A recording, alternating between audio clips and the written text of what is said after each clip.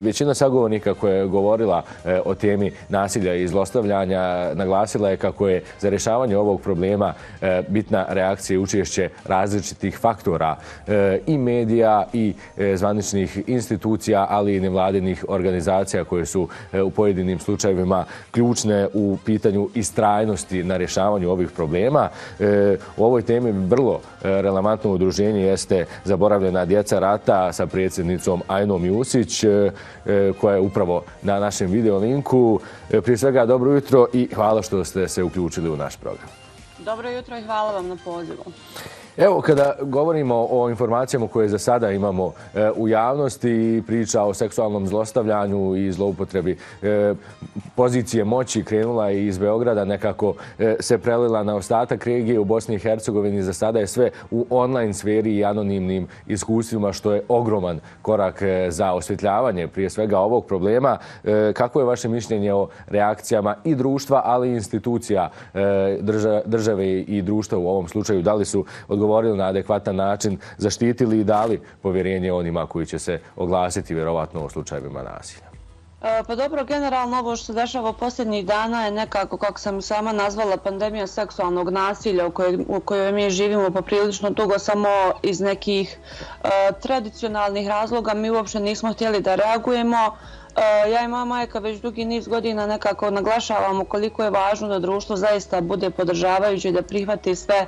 sve žene koje su i generalno osobe koje su bile žrtve određenog nasilja, međutim ovaj put se pokazalo da je Balkan samo ništa više nego veliki razrednik predrasuda i diskriminacije i da naprosto naše društvo još uvijek nije dovoljno uh, jako i podržavajuće da bi adekvatno reagovalo na, na, na ovoliki broj uh, E, javnih e, istupa kada govorimo o seksualnom nasilju, a s druge strane imamo nažalost institucije koje su apsolutno ostale po strani kao što se to dešavali u Bosni i Hercegovini kada govorimo o ženama preživjelim. Nažalost sve dok institucije ne svate da uh, je njihova uloga ključna u prevenciji ovog nasilja, ja mislim da mi ne možemo puno urati jer obrazovni sistem nužno mora da se mijenja, a s druge strane mi moramo da imamo adekvatne protokole i mehanizme s kojima pristupamo ženama koje su preživljavale bilo koji oblik nasilja. Da, e, podaci kažu da tek jedan od 15 slučajeva nasilja u Bosni i Hercegovini e, bude prijavljen. Je li između ostalog e, to jedan, odnosno da je to uzročno posljedično povezano sa, sa onim pitanjem kojeg smo mogli pročitati i čuti ovih dana, zašto je čekala toliko dugo? Kako smo uopšte došli do tog pitanja i šta ono dalje uzrokuje zapravo u psihičkom stanju osoba koje su zaista preživjela nasilje? Pa zašto su osobe čekale toliko duga? Mislim da upravo ovi komentari i, i način shvatanja ljudi o seksualnog nasilja, da oni jednostavno su dali odgovor sami sebi na to pitanje. A stvarno postoji činjenica da naši naprosto e, sistemi, organi, u suštini MUP-ovi, centri za socijalni rad trebaju dodatnu edukaciju jer vi imate čest slučaj u kojem žena ode u MUP da prijavi nasilje i tamo doživi još neku vrstu predrasude ili stigme koja nju definitivno demotiviše. A s druge strane imate i e, pravosudni sistem koji je kao najvišu kaznu evo, za ratno silovanje koje se dešavalo u Bosni i Hercegovini dodijelio pet godina što je također je velika demotivacija za sve žene da prijave. A isto tako mi živimo u vrlo patriarhalno tradicionalnoj državi gdje je zaista sramota govoriti o svim nekim neobičajnim stvarima kojima se desi, koji se dese, a nasilje zaista jeste jedna ona neobičajna stvar i sve reakcije koje smo mi vidjeli ovih dana od žena, njihova šutnja, njihovi strah, strahovi su nešto što je ovo društvo njima poklonilo, odnosno što je ovo društvo njima dalo. E, isto tako naše društvo je zaboravilo da slučajevi svih glumica koje su nedavno izašle u javnost sa pričom i sulevanju, da su to bile maloljetne djevojčice i nekako preživjeti tako visoko, odnosno najviši traumatski događaj koji postoji prema svim psihološkim priručnicima, zaista nije, nije lako podnijeti, a pogotovo nije to lako podnijeti kada imate 13 ili 14 godina kad ste djevojčica i kad nekako živite u svijetu gdje, gdje muškarci ne smiju da plaću, gdje su muškarci nekako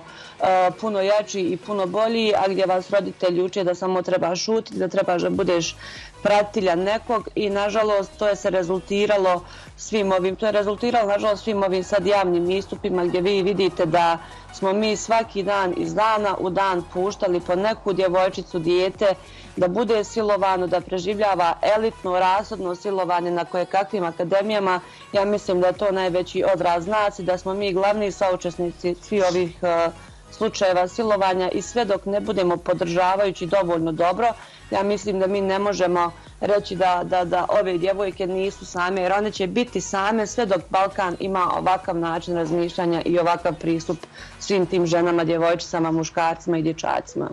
Da, osim što je društvo e, šutilo upravo na sve ono što, što se moglo čuti i vidjeti kada je u pitanju nasilje, simptomatične su i reakcije pojedinih glumaca iz Beograda na konkretnu Miku Aleksića i nakon što se sve e, doznalo, pojedini glumci e, su ga podržali i rekli da su imali sjajne iskustva s njim, uglavnom muškarci, u smislu nama je bio dobar, mi ga podržavamo i pored svega e, što je objavljeno. Kako smo došli do takve situacije i je li to neki kronični nedostatak empatije ili neki još dublji problem u društvu? E, pa vidjela sam ja te podržavajuće onaj poruke za Miku. U suštini e,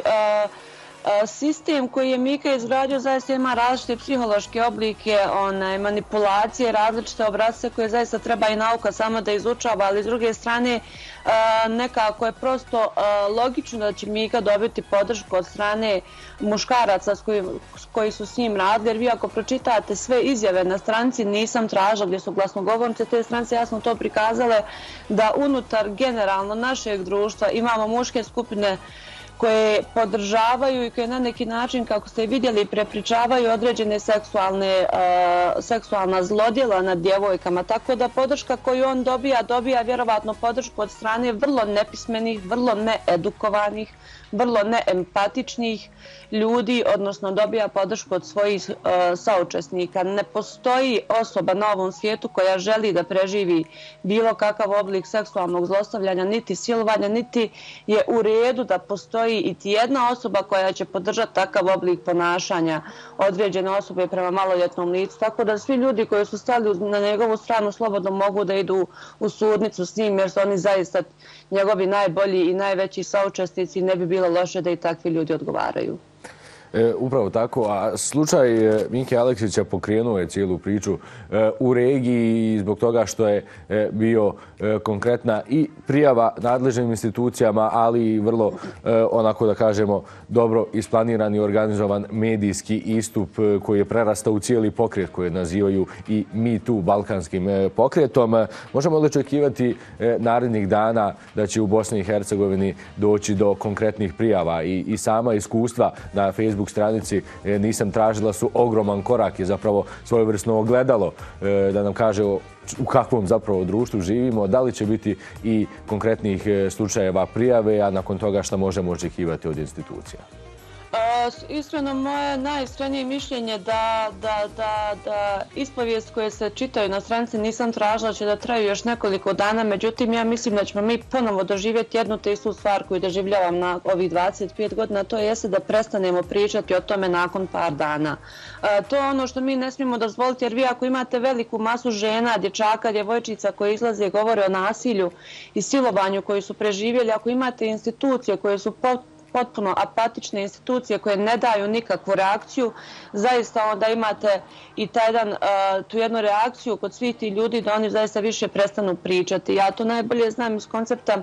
i rada sa, sa ženama koje su preživjele ratno silovanje, koje su pokušale da govore o tome, međutim kada su shvatile da ih društvo aktivno diskriminira i kada su shvatile da institucije apsolutno nemaju želju da im pomognu, onda imate činjenicu da sad u Bosni i Hercegovini imate hiljade i hiljade žena koje jesu silovane, ali koje još uvijek šute o tome.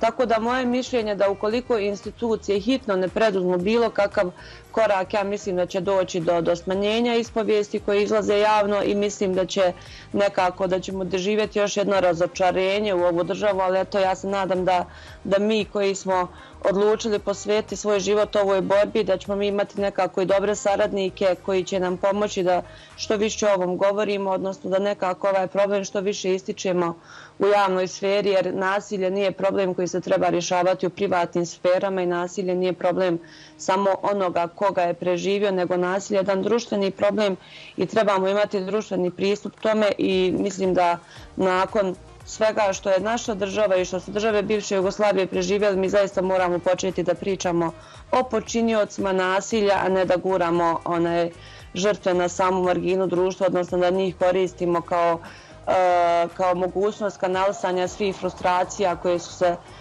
Eh, izrodile u Bosni i Hercegovini zbog generalne situacije, jer nažalost sve predrasude koje vi čitate zadnjih dana rezultat su velikog, velikog, velikog neznanja, a na kraju vam to dođe rezultat su velikog nemara ovog sistema, odnosno velikog nemara političkih subjekata koji su ostavili mnoge ljude needukovane i koji su kreirali tlo koje naprosto ne podržava drugo i drugačije i koje je potpuno apatično i, i, i neravnopravno.